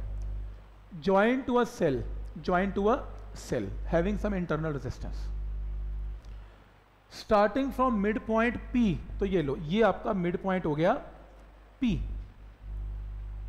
we move in the direction of current and return to P एक बात बताओ बैटरी करंट कैसे निकालती है? फ्रॉम पॉजिटिव टू नेगेटिव निकालती है। तो हमने भी कैसे जाना है? डायरेक्शन ऑफ़ करंट तो हम भी ऐसे जा रहे हैं। तो P से स्टार्ट होके हम भी P पे वापस आएँगे। ठीक है? तो कह रहे हैं P से स्टार्ट होके P पे वापस आना तो आपको बताना है कि वी कैसे चेंज होगा। रूल नंबर वन इन वायर की तो रेजिस्टेंस है ही है। कनेक्टिंग वायर की रेजिस्टेंस गिवन है। तो as you move in the direction of current potential always decreases नहीं? किरचॉफ लॉ क्या कहता है? करंट की डायरेक्शन में जाएँगे। माइनस आई आर वो प्लस आई आर नहीं बोलता। माइनस साइन क्या शो करता है? पोटेंशियल का कम होना। राइट तो जब आप करंट की डायरेक्शन में जा रहे हैं पोटेंशियल डिक्रीजेस तो आपका ग्राफ नीचे गिरेगा। गिर गया? फिर चलते चलते चलते क्या आ गई? बैटरी बैटरी का कौन सा टर्मिनल आया पहले? माइनस और फिर क्या आया? प्लस तो जब आप बैटरी के अंदर एंटर करेंगे माइनस से प्लस तो आपका पोटेंशियल इंक्रीजेस क्योंकि minus is at lower potential plus is at higher potential तो माइनस से प्लस में जाने का मतलब पोटेंशियल इंक्रीजेस राइट तो आपका पोटेंशियल इंक्रीजेस ठीक? तो जब आप वायर में जा रहे हो करंट की डायरेक्शन में तो पोटेंशियल डिक्रीजेस फिर आपका पोटेंशियल इंक्रीजेस फिर आप कहाँ आ गए? वायर में आ गए. वायर में आगे पोटेंशियल डिक्रीजेस तो जब वायर में चल रहे हो वी गिरेगा. जब बैटरी में जाओगे वी बढ़ जाएगा. तो ये ग्राफ और सी ग्राफ एक जैसे हैं. फ़र्क सिर्फ़ ये है इस ग्राफ में ई e एम जो वी की मैक्सिमम वैल्यू है ई e से कम है और सी ग्राफ में मैक्सिमम वैल्यू ई है। जब भी बैटरी की इंटरनल रेजिस्टेंस है और वो करंट बाहर निकालेगी, वो कभी भी ई e बाहर दे नहीं सकती। आउटपुट कभी ई नहीं आएगा ई से हमेशा कम आएगा, इसीलिए ये आंसर लेस देन ई में प्लॉट होगा। इसलिए इसका आंसर बी होगा। क्लियर है? इक्वल टू ई नहीं हो सकता लेस देन ई होगा। ना अच्छा वैसे पूछना है हाँ। स्लोप सेम रहेगी बस। जहाँ से स्टार्ट हुआ मतलब आप ये कहना चाहते हो कि जैसे कि यहाँ से स्टार्ट यहाँ से स्टार्ट हुआ था। ना ओके यहाँ से स्टार्ट हुआ था पी पॉइंट फिर एंड भी फिर यहीं पे आता आता, यहीं पे एंड होना है उसमें। यहाँ तक आएगा बस, फिर पी राउंड पूरा हो गया एक। सेल के साथ। अंदर वाली, ये वाली? ये वाली जो भी होगी, टेढ़ी होगी, क्योंकि वो लेस देन ई दिखानी है आपने। हाँ हाँ। ठीक। क्यों सेम रहेगा? आर की वैल्यू अच्छा ये वाला और ये वाला? लेफ़्ट और राइट वाला? ये वाला और ये वाला? ये कंडक्टर का ही है ना वी ये तो बैटरी का वी है ना?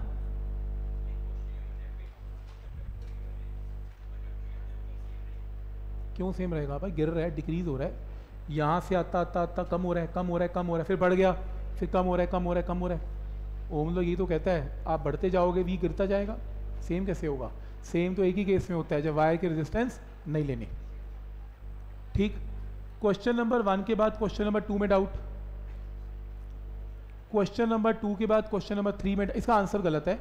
इसका आंसर आना चाहिए फाइव क्योंकि ये क्वेश्चन में नौ ओम की रेजिस्टेंस है, और ये नौ ओम का मतलब नौ नौ नौ नौ नौ, ये ऐसे है। जब पैरल में लगाएँगे तो इक्वलेंट रेजिस्टेंस वन आ जाएगी। तो टोटल बैटरी पता है टोटल आर पता है तो इक्वलेंट करंट आ जाएगा। तो करंट नौ एम्पियर निकला तो नौ एम्पियर करंट डिवाइड हो जाएगा one one one one one ampere में। डिवाइड हो गया, हर ब्रांच में एक एक एम्पियर करंट है वगैरह एमीटर में करंट क्या होगा? जो करंट यहाँ से आएँगे, वो तो बैटरी में घुस जाएँगे यहीं से। लेकिन जो यहाँ से आएँगे, एक, दो, तीन, चार, पाँच पाँच एम्पियर वो एमीटर में पास होकर घुसेगा। और जब एमीटर से पास होकर घुसेगा तो कितने एम्पियर आएगा? पाँच एम्पियर इज़ आंसर तो इसका आंसर पाँच एम्पियर है ये आंसर है। गलत किया हुआ है मैंने। क्या ये पॉइंट क्लियर है यहाँ तक कि क्या मार्किंग करनी है इसमें? ठीक है। क्वेश्चन नंबर फोर में डाउट हाँ फोर में करेक्शन है या आर वन कर लेना। आर है ये आर वन कर लेना। ठीक। क्वेश्चन नंबर फाइव में डाउट क्या लगाएँगे इसमें? किर्च ऑफ़ लॉ कर भी कह सकते हो? आपको ए और बी में पोटेंशियल डिफरेंस निकालना है। यहाँ से आई करंट निकाल लो आई डैश इधर आई माइनस आई डैश इधर करंट निकाल लो। दो लूप लगा के करंट आ गए। तो ए और बी में क्या होगा? I into five I into five add कर लेना आंसर किया नहीं मैंने, पर आप ऐसा कर सकते हो। क्लियर है यहाँ तक? नेक्स्ट क्वेश्चन नंबर सिक्स में डाउट सिक्स में डाउट ये दोनों किसमें कनेक्टेड है? Series parallel sorry parallel A और बी में जाना है ना तो ये दोनों किसमें पैरल अब जो आंसर आएगा, ये जो ऐसा बनेगा इसका आंसर। ये ए है है ना? ये ए है। दस और दस पैरल में क्या आएगा? पाँच आएगा। इधर से भी पाँच ओम आएगा। इधर से आठ ओम आएगा। इधर से तीन ओम आएगा। इधर से सिक्स आएगा और ये भी सिक्स ओम आएगा और ये बी आएगा। ऐसे। कहाँ से स्टार्ट करें? क्या बोलते हो? हाँ छः छः पैरल करके देखें। आएगा? देखूँ एक मिनट। पैरल में है भी कि नहीं? लग रहा है पैरल है? चेक करूँ। ये कितने वोल्ट पर है? V1 ये कितने वोल्ट पर है? V2 तो ये कितने वोल्ट पर है? V इसमें रेजिस्टेंस नहीं है। तो ये भी कितने पे है? V तो इसमें पोटेंशियल डिफरेंस कितना है? V1 माइनस वी इसमें कितना है? V2 माइनस वी पैरल कैसे हो गए? हुआ ही नहीं। अच्छा इसकी रेजिस्टेंस नहीं है? हाँ हाँ हाँ राइट आप ठीक है। ओके डन हो गया फिर, ठीक है डन फिर पैरल में मान गया जी मैं। तो यहाँ पर ये वी वन ठीक है। तो पोटेंशियल डिफरेंस दोनों में क्या आएगा? सेम हाँ क्योंकि इसकी रेजिस्टेंस नहीं है तो अगर ये वी है तो ये भी वी है राइट फिर पैरल में फिर हो जाएगा सॉल्व यहाँ से। ठीक है यहाँ तक? नेक्स्ट क्वेश्चन नंबर सेवन में डाउट क्या करूँ? ये क्या आएगा? पैरल थ्री आएगा। फिर थ्री और थ्री का क्या करोगे? कैसे सीरीज़ होगा ये? सीरीज़ होगा? अच्छा एक मिनट ये एक मिनट ये बनेगा आठ, ये बनेगा तीन, ये बनेगा तीन और ये बनेगा बी इधर क्या था? पाँच। इधर भी क्या है? पाँच। ठीक है? और ये क्या है? ए अब बोलो। कैसे है? वीट फ्रॉम बीच कैसे है मनवा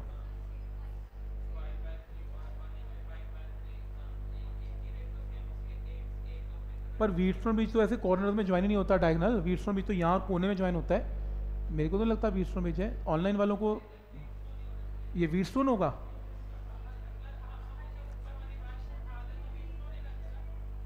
सर मैंने तो स्टार डेल्टा मेथड से किया था सर।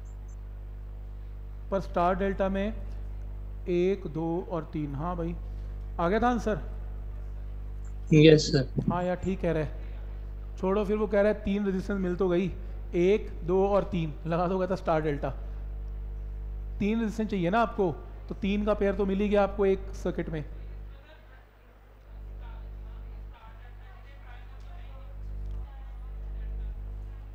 ये ऐसे ज्वाइन कर लो ना यार। टेडी वायर को हटा के सीधा ट्रायंगल बना लो। ये ज़रूरी थोड़ी नहीं कि ऐसे एल बननी है। शॉर्टकट मार लो यार, इनको ज्वाइन करके। पोटे अच्छा वीट फ्रंट बीच आ रहा है।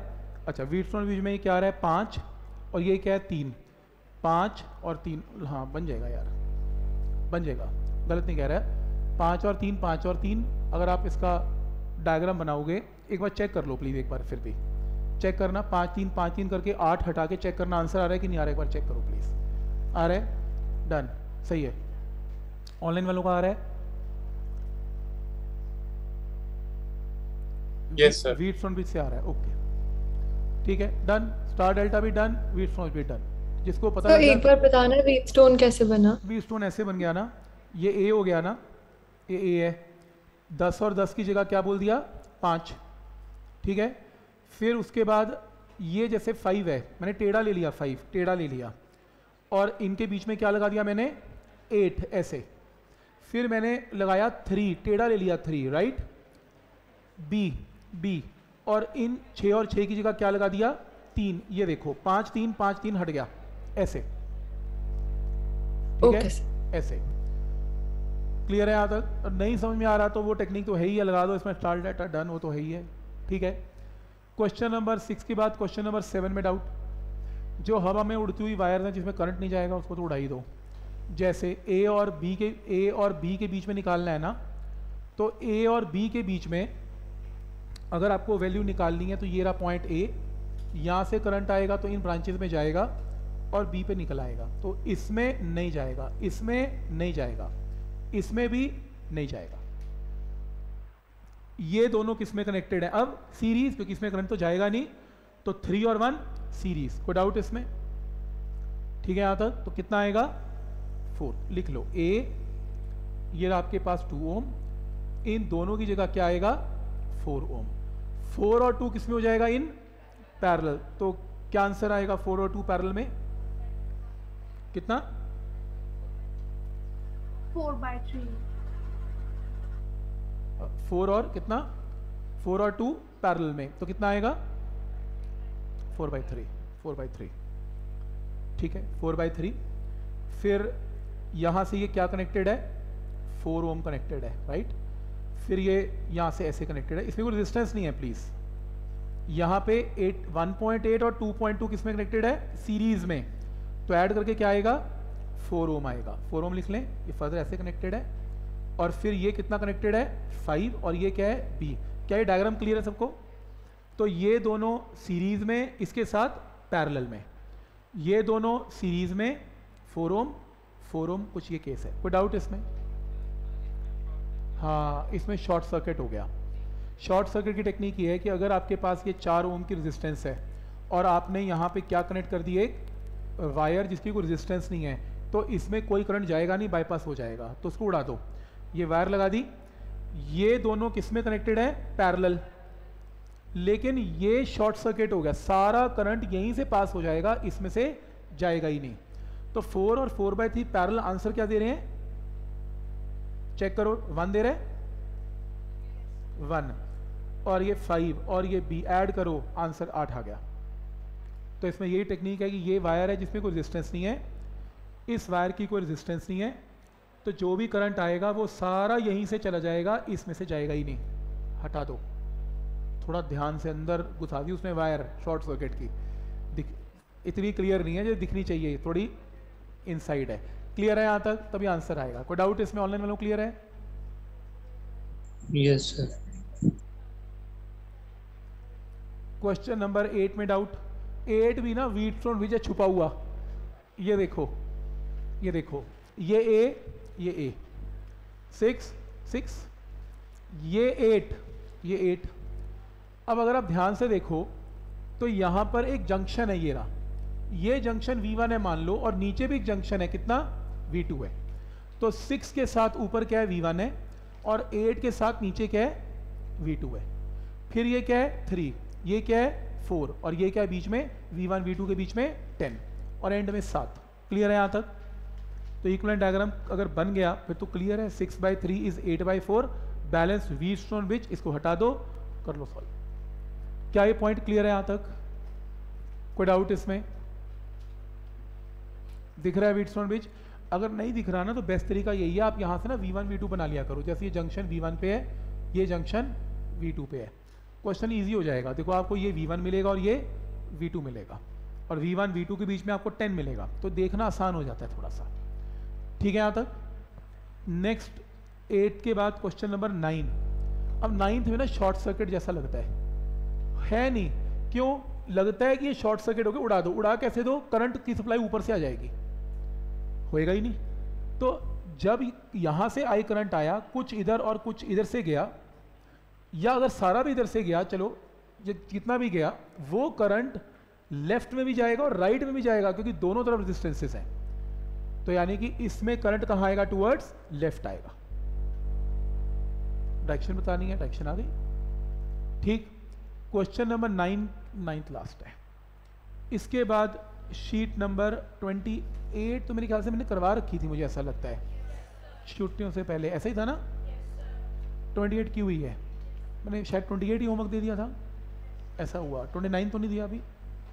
Okay sheet number twenty nine twenty ninth में क्वेश्चन नंबर थ्री पढ़ो एक बार।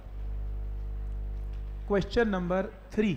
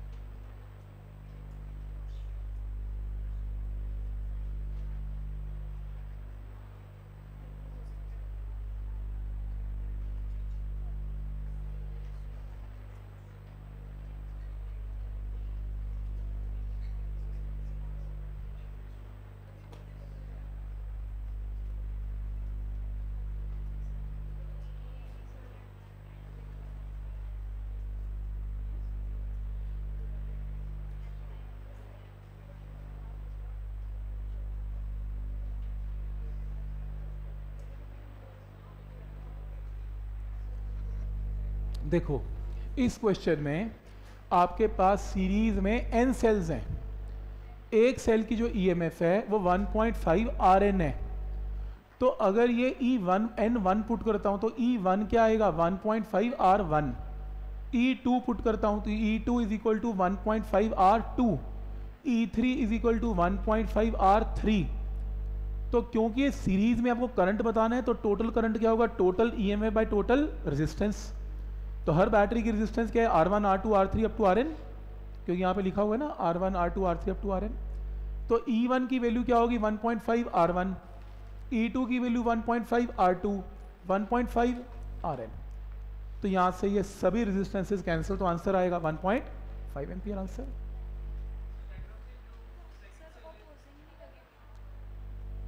second cell opposing है minus plus plus minus minus plus अच्छा गलत है ये डायग्राम सही करना पड़ेगा।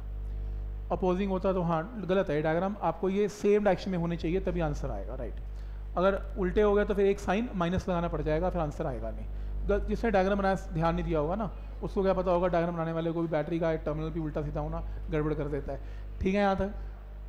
क्वेश्चन नंबर थ्री के बाद ये तो हमने कर लिया था। ये ना फोर्थ करके आना बड़ा सही क्वेश्चन है।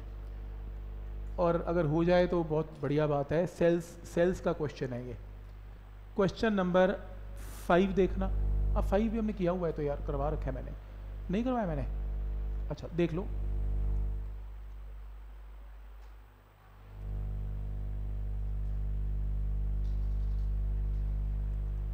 तो आपको एक E M F E one given है ई टू गिवन है। Internal resistance R one and R two given है। पैरल में कनेक्शन है। तो अगर मैं इनको पैरल में लगाऊँ तो ई इक्वलेंट क्या होगा? तो ई इक्वलेंट क्या होता था? ई इक्वलेंट होता है E one by R one plus E two by R two by one by R one one by R two शायद मैंने डिस्कस किया हुआ है, मुझे ऐसा लगता है, जो इक्वलेंट ई एम एफ़ आती है, वो ई वन ई टू के हमेशा बीच में आती है। नहीं तो अब रैंडम वैल्यू ले लो। ई वन वन में मान लो वन वोल्ट है ई टू मान लो कोई भी वन वोल्ट है आर वन मान लो वन वोल्ट है आर टू मान लो वन वोल्ट है। निकाल के देख लो आंसर या, नहीं ई वन ई वन लो वन वोल्ट ई टू लो टू वोल्ट बराबर कैसे लोगे यार? आंसर वन ही आ जाएगा फिर तो। तो ई वन लो वन वोल्ट ई टू लो टू वोल्ट तो आंसर वन और टू के कहीं बीच में आना चाहिए। करके देख लेना, वैसे स्टैंडर्ड रिज़ल्ट है, बीच में आता है। क्लियर है? अपना होमवर्क नोट करो। ये शीट आपका होमवर्क है। नेक्स्ट टाइम डिस्कशन होनी है। ये शीट नंबर कौन सा है? ट्वेंटी नाइन है। फिर आपने होमवर्क करना है एक subjective sheet number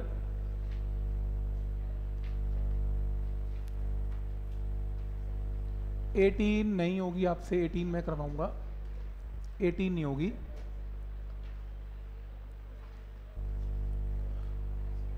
Nineteen fifteen.